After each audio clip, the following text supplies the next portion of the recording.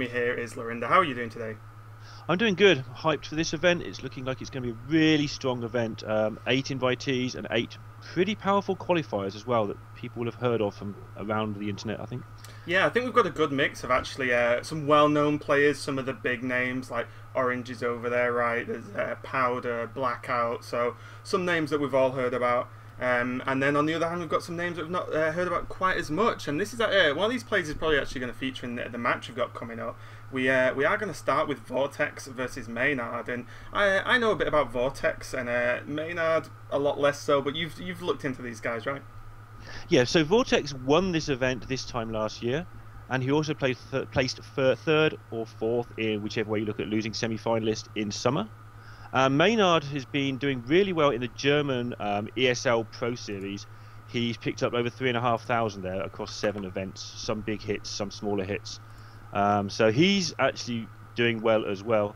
Vortex picked up a lot of money over the last few months. and He's now on a team with Faramir, I believe, as well. Yeah, he's actually recently joined Vexed as the second member of the uh, their Hearthstone squad. It's quite new, but seems to be promising so far. I mean, Vortex, he went uh, off the radar a little bit in terms of Hearthstone for a while, but you know he's come back and uh, you know he's probably going to try and want to prove himself in this tournament. Actually, uh, it looks like the guys are actually just getting ready to go. We're gonna no messing about, no messing about in this stream. We're just gonna get straight to it. Just to let you guys know, um, Maynard has got Paladin, Warlock, Mage, and Warrior, and Vortex has Paladin, Mage, Druid, and Warrior. Both players banned Warrior, so uh, you know, pretty interesting. Probably maybe a little bit afraid of uh, of Patron there. Uh, in terms of the lineups they have, and it is actually best of five conquest. So these guys have uh, everything to uh, to go for here. Yeah, definitely interesting to see what happens there. Patron's been doing really well on ladder recently, and is definitely an incredibly powerful deck. Uh, interesting that Druid didn't get banned, so it used to be that you could read into someone's lineup as each class would just be one deck. But these days, when you see that Warlock is in someone's lineup, I mean, it can mean anything. There's so many things. Yeah, so and that's one of the worries, isn't it? It's like there's Reno. Some people are playing Handlock. There's like different variations of Handlock in terms of Demon. Many different variations of Reno Lock in terms of Demon. Then there's all the Zoo variations. It's pretty crazy, actually. Yeah, um, and again, so there's that. There's Mage as well, which can be freeze, can be tempo, can be mech, and so not banning Druid to me says that maybe these aren't as controlling as possibly they would be. Like, but then you may just say, well, Druid is going to get a win at some point. I'll just try and get one win against it first, because Druid's a bit of a catch-all. And with it not being last hero standing, it's not so important if you go one on one against a deck. Uh, whereas if it's last hero standing, obviously, then it's, it's big difference. So yeah, banning the patrons, they're the ones that are likely to go through. Yeah, and we actually do have the game going now, so uh, it is going to be what looks to be Tempo Mage versus. Uh, tough to tell at the moment. It could be Handlock, it could be Reno Lock, I guess. Um, there is a Molten Giant in there, but Reno do play uh, Molten Giants now and again. Or it could just be straight up Handlock with a Dark Peddler, potentially. So there's, um, you know, it's still a, a interesting to see what the Warlock actually pulls out here. Yeah, and it's it's hard for us to decide when we're actually seeing both hands. How hard is it for the players when they only see the cards that hit the table, and they have to assess really quickly what they think that's going to be? Yeah, and they start off with a Dark Peddler, and uh, interesting choices. It's always a bit rough um, in in terms of this matchup specifically because we talked about Warlock, but on Mage, especially before any cards have been played on the Mage side, you have to mulligan and play very differently whether it's Freeze Mage or Tempo Mage, the two most common archetypes. So it's really difficult to make that Dark Peddler choice and be like, oh, I just don't know what I need here, but he did go with Soulfire. And uh, Vortex is just going to drop a Scientist, and this is really nice as well, because going off the back of what I said, like, he, um, you st- you know Maynard still doesn't know which type of mage it is, and it's really rough to try and deal with this situation here. Although Imp Gang Boss on three, pretty safe. Yep. And we're just having a moment of technical difficulties, but yeah, um, both players still don't know what they're up against for sure, which is really interesting.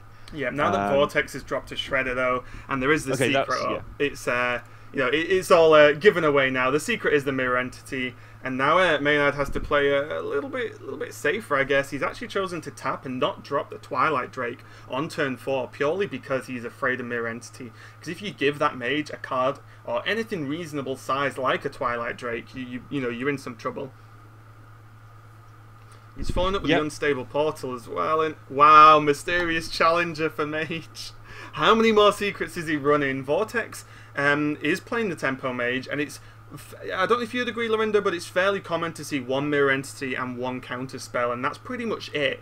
Uh, but you know, we've seen some players play duplicate as well, so we'll see if this uh, challenger for three mana um, is you know going to pull anything else for Vortex here.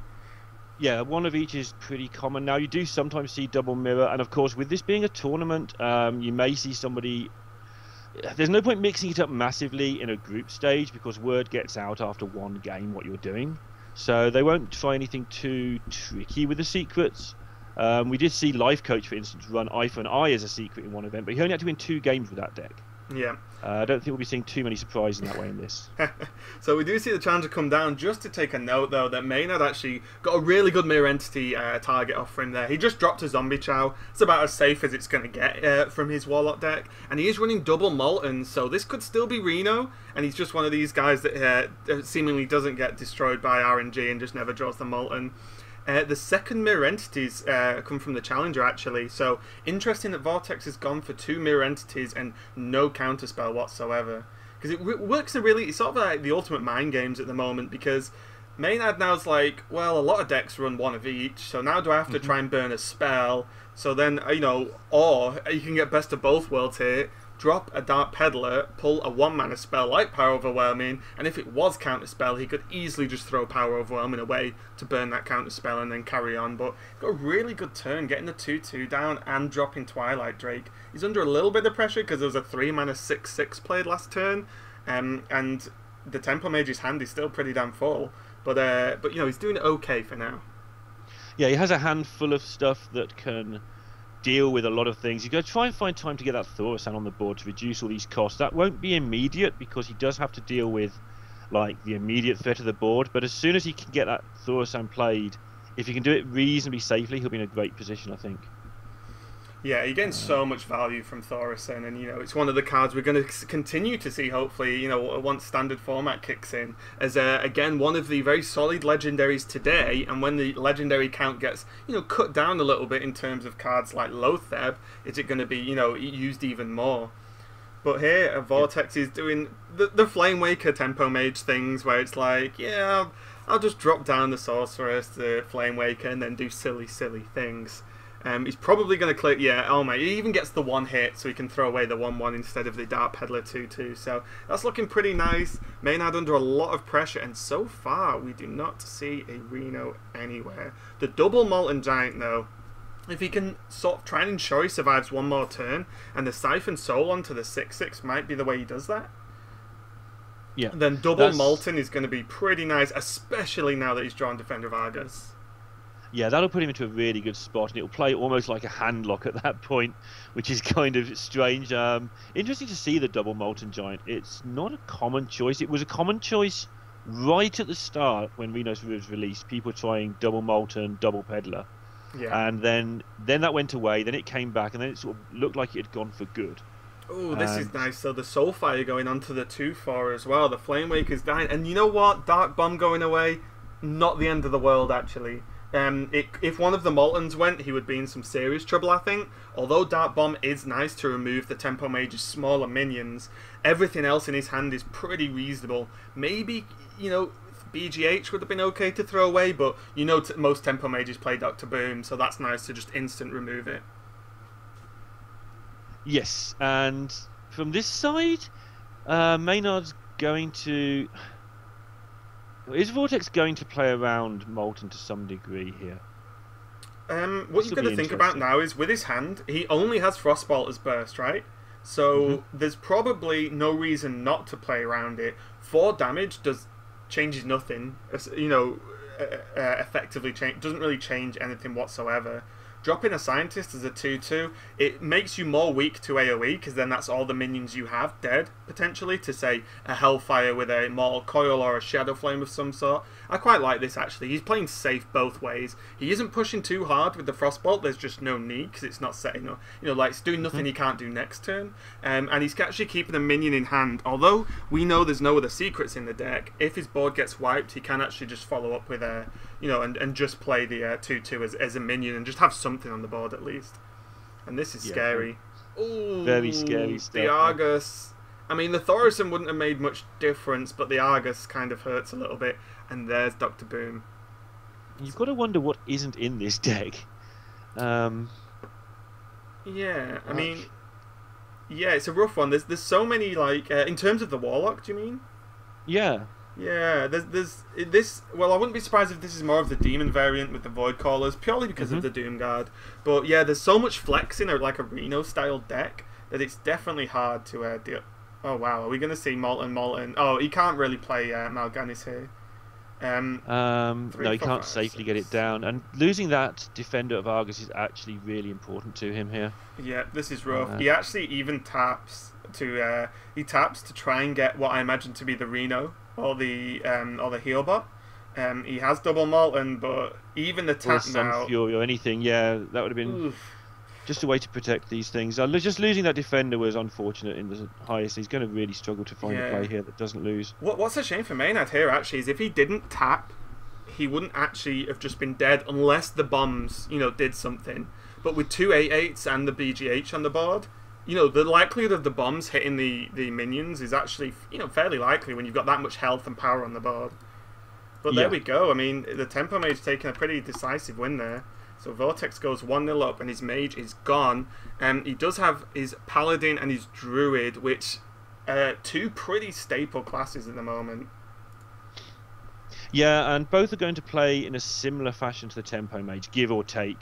And so maybe that lock deck's going to be a bit of a problem because Druid's pretty decent against it, and Paladin definitely has at least a 50-50 in my opinion. I know you think that maybe the Reno Lock's a slight favourite against Yeah, to, yeah. To, to be honest, like the more I've played it, I think um the pal like so secret paladin, of course, we're talking about. Mm-hmm. Uh, it could be Murlocs, it could be other types, but uh, secret paladin is obviously the most common variant at the moment. Um, and I think that it's like slight. It's, it's very close. I would probably just go with 50-50 to be honest. Because, I'm happy to meet in the middle on that. Yeah, because yeah, the, the the trick is the paladin needs to build up the board if the Warlock can ha- have Reno and clear the board, then he wins, right?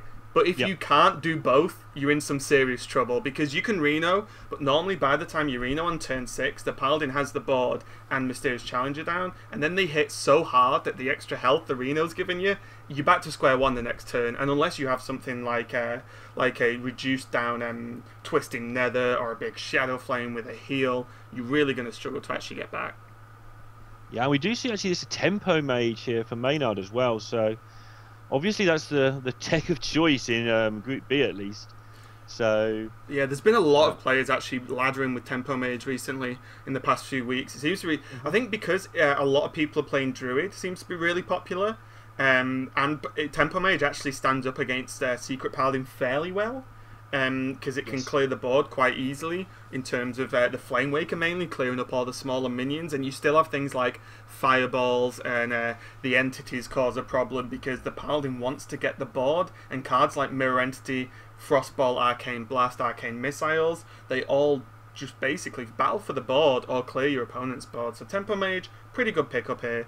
Um, little bit slow. I don't know whether I like. It, this is a real tough one actually. He's going to Arcane Intellect to draw more cards, a lot of people would either just drop the scientist or the uh, flame waker just to try and get something on the board, but the minibot kills the scientist so easily. Yeah, and one of the things about this matchup is as long as you're you're not going to get completely beaten, you know, to death rapidly by the paladin. As long as you can plan it so you're ahead going into turn six, um, and you can get that board sorted out by then, you may have taken 12, 15 damage. But if you're ahead going into turn six, then the mysterious challenger loses a lot of his power. Uh, maybe you've drawn a fireball by then to get rid of him as well. You get to manipulate the secrets better if you're on the board. And so maybe he just decided to take a time out there, get his hand filled up, and work out how he's going to plan about getting ahead by turn six, um, rather than the immediate danger. Yeah, these are pretty awkward um, awkward hits from the Flame Waker, actually just creating more minions on the board and more room to play around with. Double Noble Sacrifice is definitely not what the uh, what Vortex wants to see. With those two and Tirion, not the smoothest uh, curve once you drop the Shredder there, but um, but yeah, this is a tough one because on one hand, Vortex does have that board. and the Noble Sacrifice can do some work a little bit later on. But on the flip side of that, Maynard's actually got a pretty good hand to, to like follow up with himself, and is at the moment he can get Doctor Boom down before his opponent gets his uh, bomb that he's got in his hand, which is Tirion at the moment. Yeah, and Vortex has got a, a really difficult decision because he's facing a mage who hasn't done much, who has five cards in hand, and from his side he's got to work out. No, we can see that actually the mage's hand is kind of it's got a lot better now. It was kind of mediocre before that. But from Vortex's side, he can see fireballs and frostbolts and you know, he has to play around all these things. So he decided to go face there, which was a, a pretty safe play. And that's an amazing pickup. Yeah, 2 6, going to do some work. Unfortunately, he doesn't actually have any battle cry minions. Like he has boom, I He's guess. boom, yeah. But, he but plays that- into boom nicely on curve. Yeah, he, he's a he's a long way away from that. I think though at the moment, because you've got to say this board's going to get cleared up now with the shredder. Another secret and its redemption. Oh no. Vortex Yeah, is doing the secret paladin thing that sometimes it happens where you don't draw how you want going draw. going to happen every time. That actually only happens once in a major tournament to you. it's like, What, yeah, this is the thing they wanted Secret Paladin to be punished by, which just doesn't happen that often, and it's pretty grim when it does. yeah. He's getting a lot of damage in. This is going to be very tight. I really Maynard's like this hold for if he holds redemption. This is no, don't play it. Okay, so the reason I like the redemption hold is if your opponent clears the board, you just play redemption pass, then drop Tirion, and then it's like, what, what does your opponent do? Like, into- Mm-hmm. Yeah, I just wonder if he's you- think, maybe he's thinking he doesn't have time. Um, Well, maybe to- he's thinking if he top decks boom or something next turn, what do I do? And Yeah. Also, maybe he thinks it'll make Maynard make a mistake. And let's be honest, Plus- if he aims at the shredder or the mini bot, he probably doesn't even need to get to Tirion. Oh my Yeah, god! And Oh. even the one-one Oh, it's might 1-1, be. okay. It's, it's just one step closer to lethal, because it's so close. He may have just weighed up that the one-two points of damage that he was going to get here are, are just worth more than holding the secret back. Yeah, the ping on the Um, mini 'cause bot's going to be okay. Going to be really close. Um, not quite sure how Maynard will deal with Tirion though. Like he hasn't got enough damage into the paladin early to really have a good way to to finish this off with direct damage or anything. Yeah, and Muster for Battle's actually one of the better cards Vortex could have drawn. Um, he isn't threatened on health. What he needs to do to close this game out is to pre- just present too many threats for the mage to deal with, because the mage is on full health. A true silver champion ends this game, and with no taunts and the water elemental not on the board, there's nothing he can really do about that. But now the issue is suddenly like Blessing of Kings like ends this game because he cannot clear the whole board. He has to just play boom, I think, and just go for it because he either plays boom. Um, actually, can he clear at all now that He, he's he- attacked he in? can only kill. He's just got to kill the shredder and hope for miracles. I think. Uh, so yeah, he does. He just has to. Oh, oh, the face isn't what he was after, and that is going to be game unless this is a after either. mystery ice block, and it really isn't. It was mirror entity. And yep, um, up to 2-0 it's going to be for Vortex, in pretty convincing fashion to be fair. And he's just going to have to win a game with Druid, which Druid's the deck that you know people bring for Conquest in particular because it usually finds a way to win a game. You bring it to Last Hero Standing as more of a coherent lineup, but in Conquest you bring it just because it's kind of 50-50 against everything. I know that's not quite right, but it, it has a good chance of everything if it gets a good draw. Yeah, and I think especially at the moment because there's so much ramp available in the druid deck, and uh, like you said, everything's so consistent about it. It's such a such a, you know like a steady deck to take, just to be like I can take a game with this deck at some point in, in any series. Um, I'd be surprised if Maynard hasn't uh, just locked in the mage again. Yeah, he has. Okay. Straight to the Yeah, yeah. straight in the mage. And the, the reason for this, and it's something that I would do uh, if I'm honest, is so Maynard needs to win with every single, you know, like with all of his classes. He, he has his uh, warlock we saw earlier, his mage, and uh, whatever his paladin is. Yeah. So. I personally, uh, and I don't know if this affects groups, which maybe it does in terms of score. I'll have to check on that. But you just want a win, right? You don't want to get 3 0'd. And Yeah, um, and the agree. tempo mage versus the druid is actually such a favoured matchup for the tempo mage. Things have to go very, very wrong for you to lose this matchup. And uh, I would definitely just want this under my belt. So I, I like what Maynard's doing here. Just lock in the hard counter, try and get a win, or get your best chance for a win at least, uh, and then go from there and try and build on the momentum. Vortex is a Yeah. really interesting hand as well. Double Shade of Nax, so he can innervate Shade and then coin shade to follow up. But the problem is, if, if he does that and he doesn't draw into anything else early, what if Maynard's got like flame cannon? And you know, Yeah. that's the scary thing with shades, isn't it? When you overcommit to it, not overcommit, but when you commit to a shade with a card like Innervate, and then flame cannon comes out turn two, it's like, uh, oh no, that was a two for one pretty hard, and it buffs the Mana Wyrm. And by waiting, it means that Boom and Azure Drake are going to get delayed. And it's really nice to get a turn two or three Azure Drake on the board, top your hand back up, get a 4 4 down. So, really interesting decision there. Um, and like Maynard's really good at arcane missiling things, as he actually killed that first shade uh, easily. The third hit hit the face, right? So it was just like, well, Yeah. I've got this spare missile I'm not firing. I know, whack him in the face. Um, and again, this is the issue now with the innervate. If he didn't do that play, yes, we wouldn't have seen the arcane missiles more than likely. But he could have like innervate coin Drake and then follow up with Nax, the Shade of Naxxramas, and something like that. So the when you commit into a shade and it doesn't pay off, it's very very uh, expensive for the druid. and Maynard here as well, making a really good play because he realizes that if you're going to coin out a shade on turn one, uh, so if you're going to innervate it on turn one, you've probably got another three or four drop lying Yeah. around somewhere. So, there's a really good time to drop your mirror entity there. Now Um, imagine if imagine if Maynard had flame cannon, Vortex would probably just concede. that would that be so upsetting. Oh wow, the actual so this matchup's really weird because although yes you want the secrets from Mad Scientist, playing Mirror Entity against a Druid when you're coming up to turn five and six for three mana isn't as much of a tempo loss as it is versus a lot of other classes. Because a lot of the time now, like his shade doesn't contest the Druid of the Claw. He could fireball it actually, but even like Mirror Entity, Unstable Portal doesn't put him too far behind. Because you've seen both shades, and the Druid didn't play Darnassus Aspirant or anything early on, which they could have done. So like he must only have big guys, right? Yep.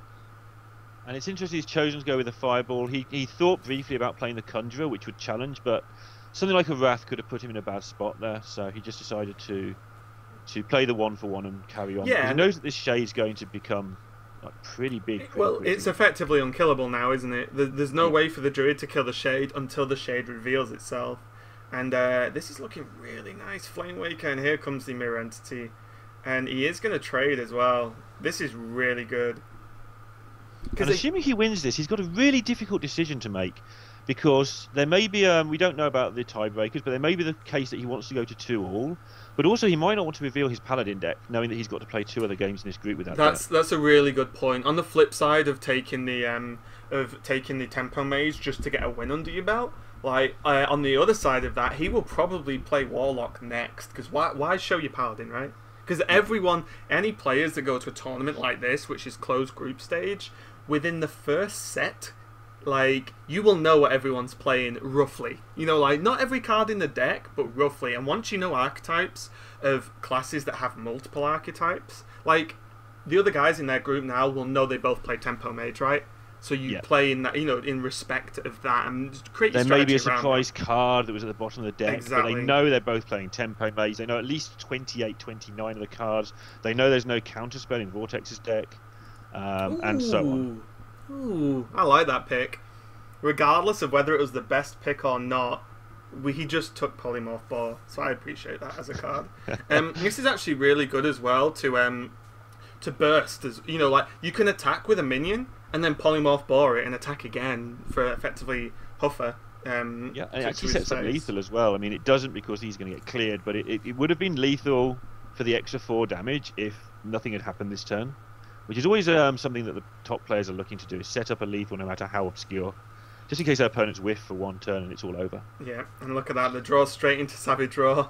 Um, and even though that was more or less cleared, Maynard's feeling pretty good about this. He goes straight into Antonidas, Mirror Image. Vortex probably concedes because there's no way you can deal with it. But when your opponent has to play Force of Nature and that's it to, to clear a board, you're feeling pretty good when you're in Maynard's spot now. But as I said earlier, the deck is so you know so favoured. The Tempo Mage things have to go absolutely terrible for him to lose this matchup. But he is going to take it. So he now goes two one versus Vortex, or one two should I say? And that goes back to the turn one decision that he made, um, where he had the really tough decision whether to go for the double shade opening or whether to go for a bigger opening that would be slower. And obviously, knowing that he's not favoured, he decided to gamble and go for the the the, the quicker gambly opening, which makes sense. When you're not favoured, you might as well take risks. Yeah, As because the second that- they don't have the answer, suddenly you know you- you're ahead. And this is Secret Paladin from Maynard, so he is choosing to reveal his Paladin deck. So again, I'll have to check, but maybe score is important. And now Yeah, he wants his second important. best deck against this, just to try and make it at least two two. Um, but also, what's interesting is Secret Paladin's another one of these decks where, although at its core everyone plays the same cards, there are some differences, and we did just see an owl from Maynard as well. So that's probably you know going to be a bit of a surprise factor because that is not a common pick in Secret Paladin. Yeah, there's a lot of stuff you can do with Secret Paladin to make it better or worse against other decks, and things like adding an owl could make you a lot more aggressive than. You know, sort of, Paladin is more board controlly than it looks a lot of the time. If you add an owl and maybe a divine favor, suddenly you've got a really aggressive deck. And when you top deck Wrath versus a two three keeper, um, that's pretty reasonable as well. Um, although somehow Maynard runs double redemption, which is also not common. A lot of these secret makeups are one comp spirit, two avenge, two noble sacrifice, one redemption, and potentially one repentance if you want to push for a full Christmas tree. Um, but two redemption again, like Vortex is probably sat thinking, right, there's redemption gone. Next, you know what I mean, and you know, Yes, right? There's one one secret off the board. Let's move on. Redemption won't happen on that challenger turn or earlier. Yeah, and I've been lucky enough to have played Double Redemption, so I can actually talk about this a little bit. Um, and I've played it because people don't play around the second one, and if you can get it down, even if they just sort of don't play around it into a mini bot, let alone a Tirion or something important, you can just suddenly win a game. You know, if somebody's a bit lazy or you know, and this might actually this going to be really good here, except you can't get it down because of the the Loatheb, obviously.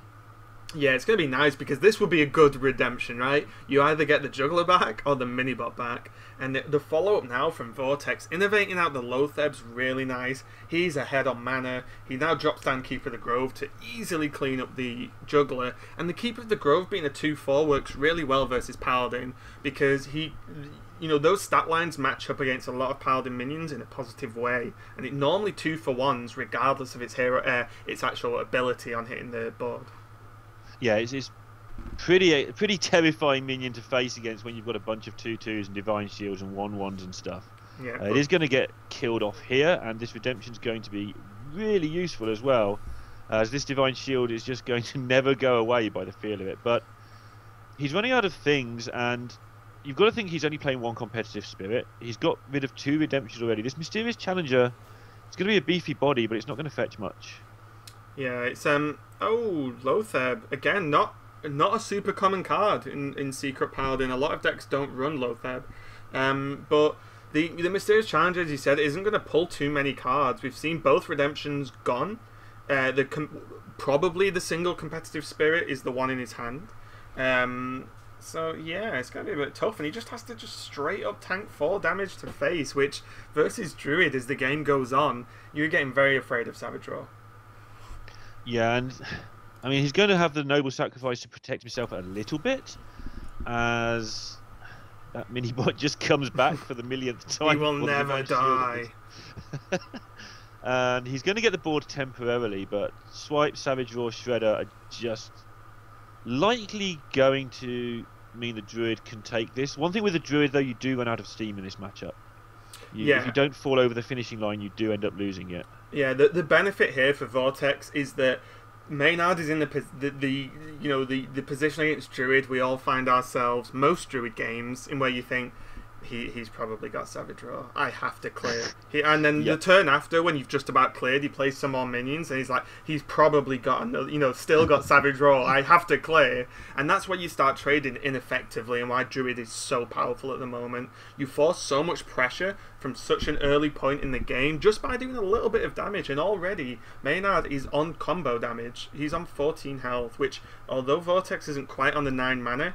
Like there, there is a get down, I believe. Yeah, Noble There is, Sacrifice yeah. is He- he live. the- there was no surprise. It was Noble Sacrifice Avenge that came off the Challenger. So like, although Vortex knows he um well, to be fair, if an innervate happened, Maynard's dead if he had innervate combo. So you know that's how, Vortex, that's how much pressure that the deck can put on and why it's so scary. and he knows there's no redemption because he's seen two, so he knows that he doesn't have to worry about the get down quite as much as you normally do because normally it comes back to life, puts more damage on the board, gets competitive spirited, blah blah blah. Um, he may struggle to work out what this secret is though, with the competitive spirit being in hand. Yeah, Druid's always nice though because um, you have a very easy way to proc the get down. Because like, what if you just had the Shredder and no hero power that can attack, then the Shredder has to run into the two one, and you know that's happening, and there's nothing you can do about it. Yeah, and yeah, this is just pretty brutal right now. And choosing to stick everything just onto that challenger, and I think he was probably expecting to proc a competitive spirit there. I'm not sure. But This this seems reasonable though because he's leaving the six five up, and it's sort of the Shredder probably you know like trades with the challenger now. yes, if you imagine the weapon didn't exist and to a certain extent like the weapon is probably going to clear up what drops out. We'll find out now.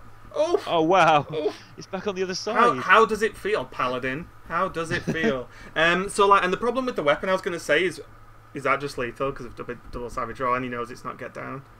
And druid things guys. Um so because of the weapon he could have killed say a, a lesser minion than the minibot but he's taking damage. And as i said earlier at any point the druid can just kill you with Savage Roar. and there we We go and that's going to be it Druid doing Druid things, and Vortex is going to take this down 3 1. And he loves this event as assembly. He just keeps doing well here. Yeah, it's really nice actually. I mean, Vortex. I mean, t- to be honest, both players I think played pretty well. No Mhm. one particularly misplayed. I think the actual lineups were, were stacked against Maynard there. The um the Druid. Uh, let's just open the lineups again. So Yeah, Maynard and took Tempo the Mage ran into the lock, which is a pretty hard matchup for the Warlock, especially when you don't draw your your Reno and stuff like that. yeah. Well, zero Uh, heal actually. He, he drew zero heal and then lost his Defender of Argus when he had two free Molten Giants because of the Doomguard threw it away, right? So like that was rough. Um, and then going forward from that, the Paladin did Paladin things. The guess. Druid did Druid things. Yeah, and the Druid was a Druid, so uh, so there we Uh, go. And both players banning Warrior. That's uh, interesting. Yeah, banning Warrior because it can just run through lineups sometimes. Um, so against the Tempo Mage, I mean, Tempo Mage is pretty good against Warrior, I feel, but. Uh, you you think it's good versus Patron? Oh, versus Patron? Yeah, Patron runs through Yeah, this lineup. yeah, that, that's what I'm thinking. Like Patron yeah. probably does. I mean, it wrecks Yeah. Vortex's lineup more than Maynard's because Maynard has the Warlock. Um, but in general, Mm, like Patron does pretty well.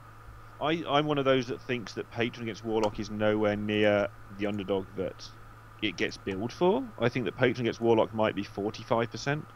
Um, I've heard other people say maybe it's 30, but I think that's a bit low. Yeah. Uh, Yeah, I it's definitely Patron- rough. It's very, very swingy though, isn't it? That matchup because It they, is. They it- either clear the board or you pressure them enough to, Yeah, to you know, and they don't have Reno. hope. Like, yeah, because there's ways, uh, depending on what patron variant as well. The the Kor'kron Elites can pressure quite heavily. Mm-hmm. There's always the Grom answer, you know, for an extra burst. So it, it's really really rough. But I do understand, but the, the warrior bans from both players. But that is going to be it for that game. Vortex does take it three one versus Maynard. Uh, let me have a look if we know what the next game is going to be. It Cool, what are you looks? It looks it. like we'll be casting Blackout's game. I'm not sure who he's going to play against, but we'll be casting a fellow Brit, which is always nice. Um, and one of Blackout's uh, sort of he doesn't really play in too many. To- I suppose there's not been too many tournaments recently, has there?